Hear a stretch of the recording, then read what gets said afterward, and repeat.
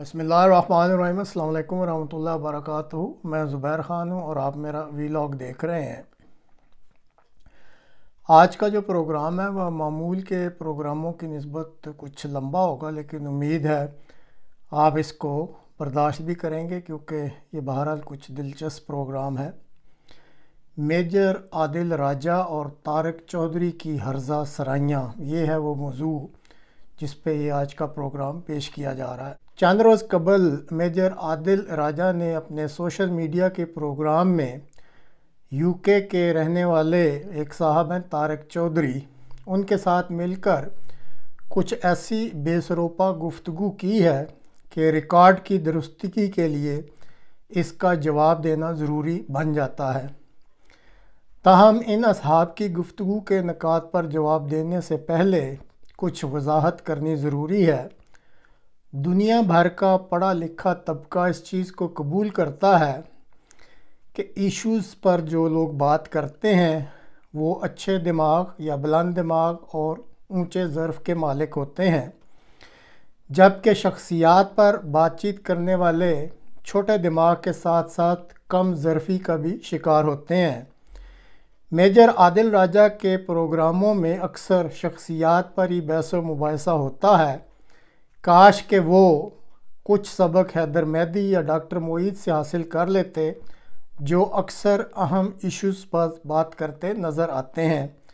मैं बहरहाल कोशिश करूँगा कि अपनी गुफ्तु को मेजर आदिल के प्रोग्राम में जो उठाए जाने वाले नकात हैं, उन तक ही महदूद रखूँ।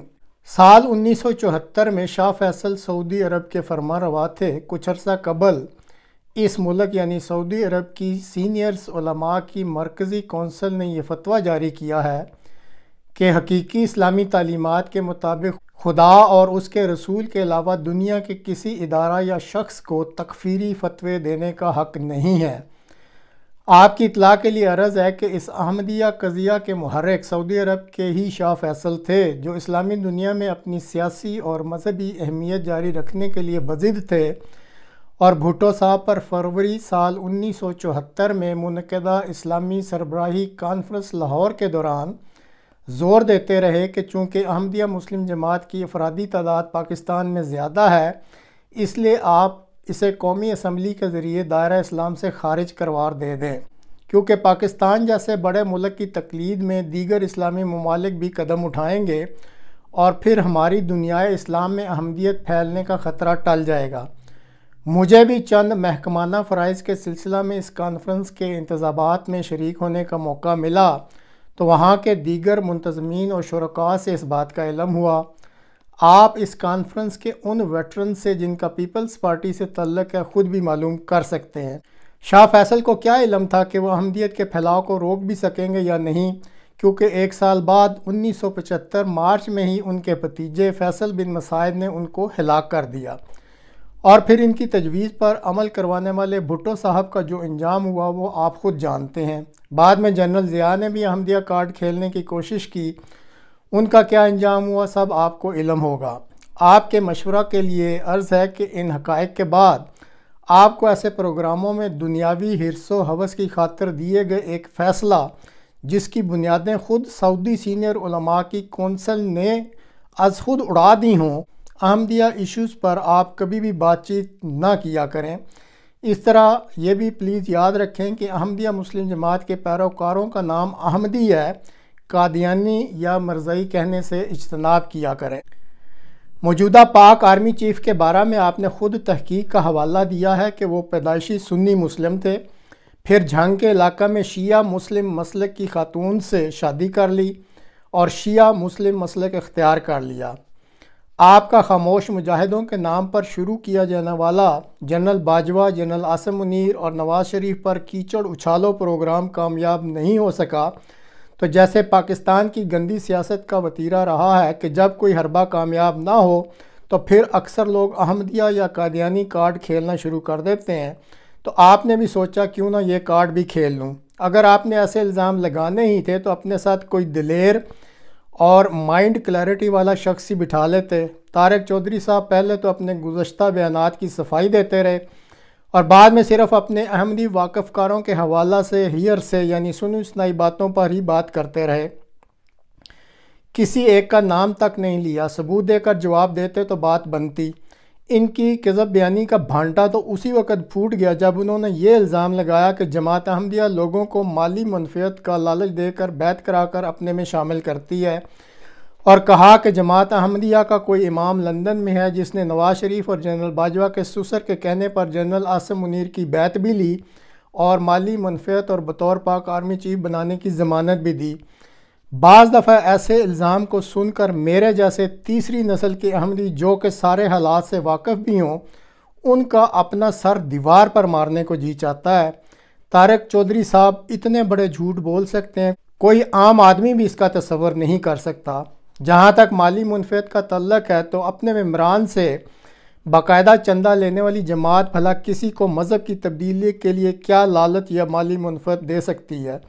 अलबत् मज़हब, रंग, नस्ल और कौमियत को ख़ातर में ना लाते हुए हर मुसीबत ज़दा और ज़रूरतमंद की मदद ज़रूर करती है। मैं ज़ाती तौर पर अहमदिया मुस्लिम जमात की एफिलिएटेड एक इंसानी फलाह बहबूद की तंजीम ह्यूमनिटी फ़र्स्ट है। पिछले दो दहाइयों से ज़्यादा अरसा से इस तंजीम में खिदमत की सादत पा रहा हूँ। अफ्रीका, मशरकी, यूरोप और एशिया के कई ममालिक में जाने का इतफ़ाक़ होता रहता है। कभी किसी जगह भी किसी से मज़हब के बारे में नहीं पूछा जाता और सिर्फ़ इंसानियत के नाते मदद की जाती है। पिछले साल यूक्रेन के महाजरीन, जो मुसलमान भी नहीं हैं, उनकी बहुत ज़्यादा मदद की गई, जिसको अकवा मुतहदा के फ़ूड और हेल्थ के इदारों ने बहुत सराहा। इसी साल तुर्की में जलजिला के मौका पर जमात अहमदिया की इसी एफिलिएटेड तंजीम ह्यूमनिटी फ़र्स्ट, वो पहली और चंद तंजीमों में से थी जिसको वहाँ इंसानियत की खिदमत की तोफ़ी मिली। और सरकारी दफातर अकवा मुतहदा प्रेस और मीडिया ने इस तंजीम की इंसानियत के लिए बेलौस खदमतों को बहुत सराहा। मैज़ अल्लाह ताला के फ़ज़ल और रहम के नतीजा में मुझे ख़ुद भी उस्मानिया के इलाका में दो हफ़्ते के दौरानिया के लिए इस खिदमत की तोफ़ी मिली। अब इन बेलौस इंसानी खदमात की सिर्फ़ चंद मिसालों के बाद आपके जमात अहमदिया के बारे में जो माली मनफियत का इल्ज़ाम है, उसके गुबारा से अज खुद हवा निकल जानी चाहिए। टीएलपी और इन जैसी जहनीत रखने वाली दीगर तंजीमों ने अहमदियों का पाकिस्तान में जीना दुबर कर रखा है, जिसका जो जी करता है, अहमदिया या कादियानी कार्ड खेल कर अहमदियों के बारे में खूनी खेल रचाता रहता है। आमदियों की मसाजिद की मसमारी, कारोबारी रकाबत और अहमदियों की हिलाकतें इस अमर की गवाह हैं, जबकि तारक चौधरी साहब कहते हैं कि अहमदी पाकिस्तान पर हुक्मरानी कर रहे हैं। भला जो हुक्मरानी कर रहे हैं, उनके साथ पाकिस्तान में ऐसा सलूक होता है अहमदियों के साथ पाकिस्तान में जुल्म सतम पर मबनी मुसलसल रवा रखे जाने वाले सलूक, तारक चौधरी के इस इल्ज़ाम पर अज खुद एक जन्नाटेदार थप्पड़ है। ज़िंदगी अजीरन हो जाने के बायस अगर पाकिस्तानी अहमदी किसी न किसी तरीक से हिजरत करके बाहर आ जाते हैं तो मजहबी परसिक्यूशन के नाम पर वो सियासी पनाह की दरख्वास्त देते हैं। जिस मुल्क में पनाह ली जाती है, उसके मुतल महकमे जमात अहमदिया से रबता करके तस्दीक मांगते हैं। कि क्या पनाह का दावेदार अहमदी है या नहीं? इसके लिए जमात अहमदिया का अपना एक इंतहाई ट्रांसपेरेंट और सख्त तरीक़ाकार है, जिस पर अमल दरामद के बाद ऐसे अफराद की तस्दीक की जाती है। और पनाह लेने वाली अहमदी अहबाब को ऐसे सर्टिफिकेट लेने का हक भी है कि उन्होंने अपना मुल्क मजहबी प्रसिक्यूशन की बिना पर छोड़ा होता है। अगर कोई पाकिस्तान छोड़कर बाहर आकर अहमदिया मुस्लिम जमात में शामिल होता है और आकर फिर वो असलम का केस भी कराता है तो मुतल महकमा को वाज तौर पर बतला दिया जाता है कि इस शख्स ने यहाँ आकर अहमदिया मुस्लिम जमात में शमूलियत इख्तियार की है। जमात अहमदिया लंदन के मॉडर्न सेंटर में रोज़ाना पाँच छः अफराद की बैतें कराना और इनको अहमदियत के सर्टिफिकेट देना एक ऐसा झूठ है जिसका ना कोई सर है ना पैर। तारक चौधरी साहब, कुछ तो खुदा का खौफ करें, इतनी दिलीरी से झूठ बोलना गुनाह कबीरा होता है। जहाँ तक शादी के लिए मज़हब की तब्दीली का मामला है तो इस पर भी तारक चौधरी साहब ने खूब नमक मिर्च लगाया है। पाकिस्तान से आने वालों के ऐसे गैर अहमदी केसेस की वो कोई मिसाल भी दे देते, जिसने यहाँ की अहमदी लड़की से शादी करने और सेटल होने की बिना पर अपना मसलक बदला हो। सिर्फ़ बेपर की छोड़ने से कोई बात नहीं बनती। तहम जब इन यूरोपी मुल्कों में रहने वाले जो पहले ही सेटल्ड होते हैं और वो अगर किसी अहमदी लड़की से शादी करना चाहते हों तो इसके लिए अहमदिया मुस्लिम जमात का अपना एक अंदरूनी निज़ाम है कि दिलचस्पी रखने वाले को बतला दिया जाता है कि अगर उसने एक अहमदी मुस्लिम लड़की से शादी करनी है तो वह अहमदियत का मुताल करे और अगर वह राज़ी हो तो अहमदी मुस्लिम बने और फिर अहमदी मुस्लिम लड़की से शादी करे। लेकिन ऐसे केसेस भी शाज नादर हैं और सिर्फ़ वही अफराद करते हैं जो किसी दूसरे मज़हब से अहमदिया इस्लाम को कबूल करते हैं। तारिक चौधरी साहब का शादियाँ कराने वाला ये इल्ज़ाम भी खाली भम्पू बचाने के मुतरदफ़ ही है। जहाँ तक जनरल बाजवा के सुसर का तल्लक है तो अगर वो जर्नैली हासिल करने के लिए अहमदियत से तायब हुए तो ये इनका ज़ाती फेल है। इनको ऐसा करने से मिला क्या कि सारे पाकिस्तान में मेजर आदल जैसे शख्स के हाथों बदनामी मोल ले ली। जो दुनियावी तरक्की के लिए मज़हब नहीं बदलते, उनकी तो ज़िंदगी भी इज़्ज़त से गुजरती है और मरने के बाद भी इनको अच्छे अल्फाज में याद किया जाता है। पाक फ़ौज के general Akhtar Hussain, general Abdul Ali, general Iftar Janjua और सिविल फ़ील्ड में चौधरी जफरुल्ला और डॉक्टर अब्दुलसलाम इनकी चंद मिसालें मौजूद हैं। आमदिया मुस्लिम जमात को दायरा इस्लाम से निकालने के कुछ अरसा बाद जी एच क्यू की तरफ़ से मुरतब करदा दो सौ अठहत्तर अहमदी हाजिर फौजी अफसरान की एक लिस्ट मैंने खुद भी देखी थी। उनके बारे में कभी भी ये सुनने में नहीं आया कि माली मनफियत या प्रमोशन के लिए किसी आमदी फ़ौजी अफसर ने अहमदियत छोड़ी हो। मैं यहाँ अपनी मिसाल दे सकता हूँ।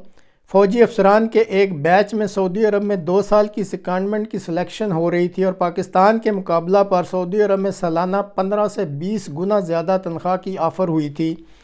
सिलेक्शन बोर्ड ने कहा कि क्वालिफ़िकेशन के लिहाज से मैं, यानी मुझे कहा कि आप टॉप पर हैं, आप मज़हब के खाना में सरकारी मुसलमान की तारीफ़ टिक कर दें तो आप सेलेक्ट हैं। एक हकीकी आमदी मुस्लिम मसल की तब्दीली के एवज़ ये माली मुनफियत भला कैसे कबूल करता? इसलिए मैंने ना कर दी।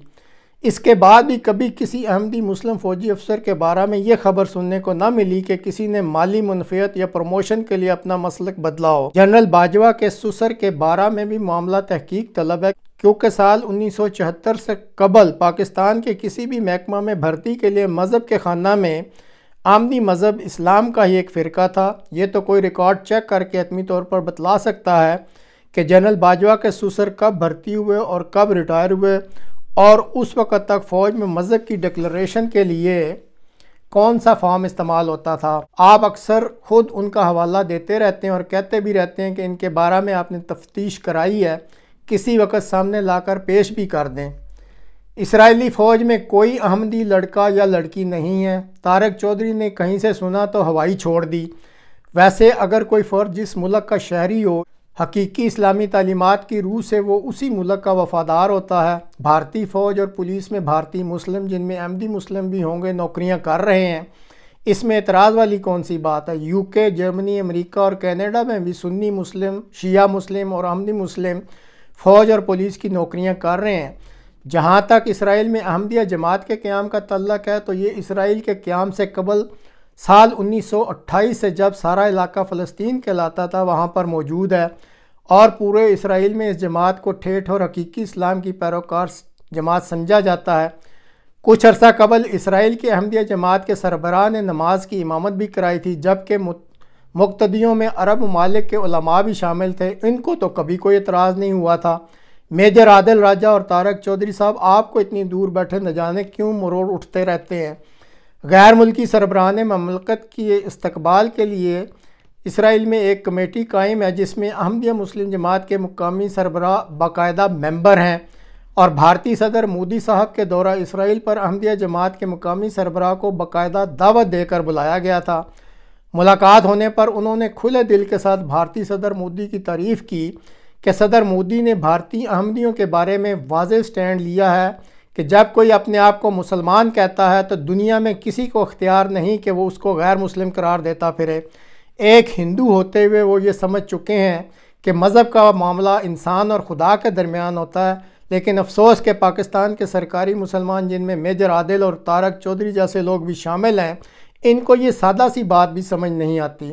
मेजर आदिल आपसे एक सिर्फ़ इतना सवाल है, जिसका आप जवाब दे सकते हैं कि कल कला आपको कोई क्रिश्चियन डिक्लेयर कर दे तो क्या आप अपने आप को ईसाई कहलवाना शुरू कर देंगे? मेरे ख्याल में तो आप कभी भी नहीं मानेंगे।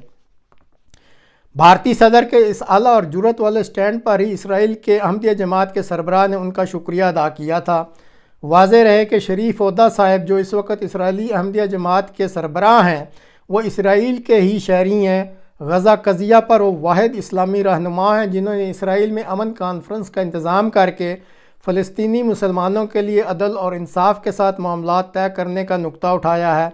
इसी तरह आमदिया जमात की एफिलेटेड इंसानी बहबूद की तंजीम ह्यूमनिटी फ़र्स्ट भी गज़ा के मुतासरीन के लिए रोज़मर्रा की अशिया और तिब के मैदान में मदद मुहैया कर रही है। ताहम मसला ये है कि मेजर आदल और उन जैसे उनके जो हवारी तारक चौधरी साहब हैं, उनका चूँकि मकसद सिर्फ़ कीचड़ उछालना होता है, इसलिए उनको भली और साफ़ चीज़ें कभी नज़र ही नहीं आती। आखिर में ग्रेटर इसराइल की तरज पर ग्रेटर रब्वा और ग्रेटर पंजाब का भी एक अजीब व गरीब शोशा उन्होंने छोड़ा है।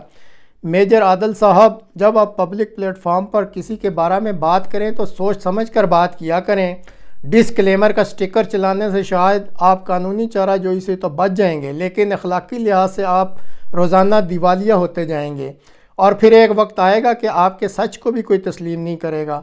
आखिर में आपको एक बड़े भाई के नाते मैं एक मशवरा देना चाहता हूँ कि अगर आपका कोई खुफिया एजेंडा नहीं है तो बानिय पाकिस्तान कायद अज़म के हुक्मरानी के जो रहनमा असूल है, उन असूलों की पाकिस्तान में तरवीज के लिए कोशिश करें तो आपका ये पाकिस्तानी कौम पर बहुत बड़ा एहसान होगा। अहमदिया मुस्लिम जमात को अपने सियासी मामलों में मत लाया करें। ये एक ठेठ किस्म की इस्लामी मजहबी जमात है जो हकीकी इस्लामी तालीमत की रोशनी में दीन इस्लाम की अहया के लिए मसाई कर रही है। इस जमात को अल्लाह ताला की तइद और नुसरत हासिल है और वक़्त के साथ साथ ये अपनी मंजिल के हसूल के लिए आगे बढ़ रही है। आप अपनी सियासी मसाई को इस मजहबी जमात से दूर ही रखें कि इसी में आपकी और दूसरों की बेहतरी है। दुआ है कि अल्लाह ताला आपको समझ और अक्ल दे। आमीन।